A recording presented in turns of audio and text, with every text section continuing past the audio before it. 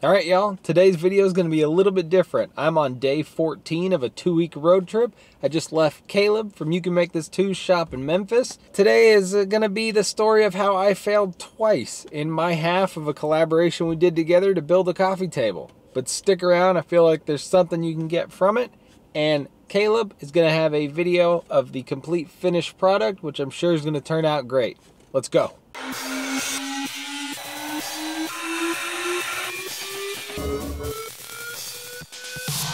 Last, last here? Um, October. I October, want to say, yeah, yeah. Thank yeah. you for coming back. Right about a year. Really excited about this coffee table we're gonna put together. yeah, okay. So the story here is I made the top of a coffee table out of some walnut slabs. We left the ends all all rustic. We came up with this a few months ago. Richard said, "Hey, if you make a top, I'll make a base. I'm coming through. We'll put it together." I said, "That sounds great." So the top is here. I left the base in Oklahoma City when I left for this trip. So when I was at Maker Table yesterday, I had the pieces cut out again, and we decided that we would try and put it together again here. But I'm not a metal shop. Yeah. I'm a wood shop. so We uh, made a valiant effort to make Yeah. this work. We did. So when I was over at Maker Table and we cut out these replacement profiles, I decided not to cut these holes in because I was still kind of iffy on whether or not that was actually the right thing to do. I got here and Caleb was like, "Yeah, Thought they sounded great. they they look good. We should have them." So we took a jigsaw, some drill bits, and cut them out. They're not perfect, but from a couple feet away, they're good enough. You know, it kind of shows you don't actually have to have a plasma table, although you know it pays for itself in time savings very quickly.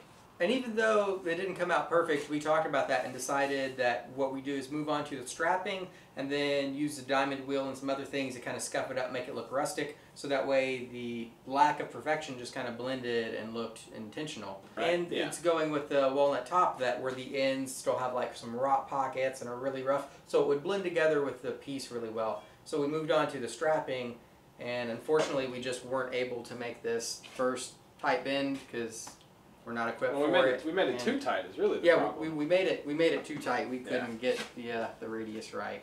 so This is when we decided this just wasn't going to work in Yeah. this shop. I'm just gonna ship out the original, and Caleb's gonna prove his welding skills by welding two pieces together. Oh, I hate everything about this. So I'm sure right about now you're starting to realize I'm pretty much throwing a grown-up temper tantrum. I don't like when projects don't work, and today didn't work. But what are you gonna do? So let's go back in time a little bit to my shop. I actually don't have the footage of me plasma cutting these pieces out. Don't know why, but we get them cut just like I did at Maker Table. This is out of 12 gauge steel. Probably could have done to go to 10 gauge, but for what it is, these were pretty strong. We're gonna clean up all the edges, just wire brush them down, and then I'm gonna run over to my scrap pile and just check and see if I have a piece of pipe that matches this inside radius pretty well. And I did, which was fortunate. So we'll take a small piece of that, about four inches long, cut off on the cold cut saw, and I'm just going to tack that down to the table. And this is really where the tooling diverged quite a bit between what I do at my shop and what Caleb does. I've got an 800 pound table that I can weld things to and use as a bending and prying piece. Caleb doesn't, and I've got a different layout, a little bit more space, uh, just by the nature of the fact that Caleb's working out of a home shop. So the approach to making this faux I-beam look is to take your plasma cut piece, that's going to be the web of the I-beam if you will, and then pick what size strapping you want to use to wrap it or make the flanges. In this case we're using 8th inch by 2 inch flat bar. It seems to look the most proportional and other than taking that piece of pipe and tacking it down to the table, this is really just a, a game of clamps and sneaking up on where you are. Caleb and I crimped the bend at his shop because we didn't have something to reference off of like this. And, you know, the reason that didn't happen when I did it myself was I have this pipe to reference off of and big enough clamps to sneak up on the fit. Whenever possible, if using welds that are going to be visible and almost a statement piece, I actually like to mark out where they're going to be. Here, that long run's about 32 inches, so I'm marking 2 inches in from the end, and then I'm going to straddle that middle mark by 2 inches. So I'll make a mark at 15 and 17, and that will tell me where to put my welds. The way I do that is just make a tack at each of those marks while you can see them under the helmet, and then start welding. Uh, with a standard Sharpie, you're going to have a hard time seeing that while you've got an arc lit. So if you have a tack at either end, you you've kind of given yourself boundaries to weld within and you get nice even spacing that looks very intentional. So one thing that you're not going to see me do in this video is go into a lot of detail on exactly how to get this strapping and the CNC plasma cut piece to line up and look right and come out nice and clean.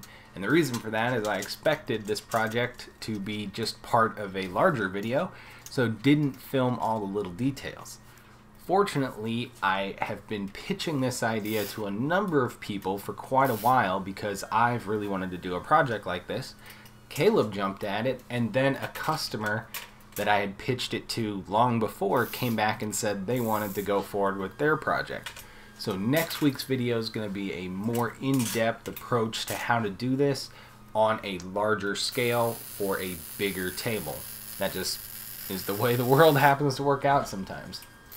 As we work the strapping, that's the eighth of an inch by two inch flat bar around the piece, the the two big things to watch out for are one that you don't put a kink in that strapping. If you grab way out away from where you're trying to bend it and pull real hard, it's going to be easier to make the bend, but you're going to find the weak spot in the steel and put a kink in it if you try and grab too close, you're just going to be pushing way too hard, but of course you won't put a kink in that steel. So you got to find a nice balance and the use of C-clamps or other clamps to aid in that is definitely the way to go. As this was my first time tackling a project like this, one thing I didn't think about but that I really should have was that as I'm doing all these welds on one side of the plasma cut profile, I'm introducing a warp into that strapping. The weld cools and tightens and tries to pull the strapping out of 90. What I should have been doing is flipping the piece over and either alternating my welds or duplicating E12 on the other side immediately. But the warp was pretty minor in this, and in the end, the entire thing sits flat within somewhere between a 16th and an eighth of an inch, which in a table base is not something that's gonna hurt you.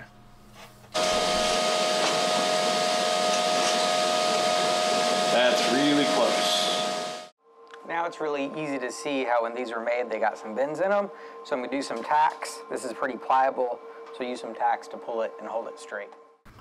Alrighty y'all, as we run out the second half of this build, the duplicate of what you just saw in one montage so you can see everything that goes into it, I just want to say, when I started making videos, part of the reason was because I wanted to be part of this community and work with some of the guys that I've learned from, maybe give something back. I feel like that's where the channel's evolved to, and I'm really happy about it.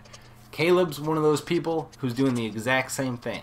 I met Caleb at the very first Maker event I attended, and I'm really happy to say he's become a good friend. He's a great guy, awesome family, and he's doing what I'm trying to do, but in the woodworking space. He's got an entire series on tool substitution where he'll show you how to put a square edge on a board if you don't have a jointer, how to do XYZ if you don't have a bandsaw, or whatever. I'm obviously not the woodworker here let him know I sent you. That's always fun to do. Let's blow his comments section up and help the algorithm. So I shipped the profiles out to Caleb. He welded them together, putting his own little spin on how they go, and I think it turned out awesome. The wood is gorgeous. Caleb covers the entire process of how he did that in his video. You guys don't want to miss that. You guys should go check out Caleb's video on how the top was put together because it came out gorgeous. It's going to be right there. Subscribe to his channel while you're at it. I'm over here, and uh, we'll have something that YouTube thinks you might like right here. Until next time, guys, make time to make something. Thanks for stopping by.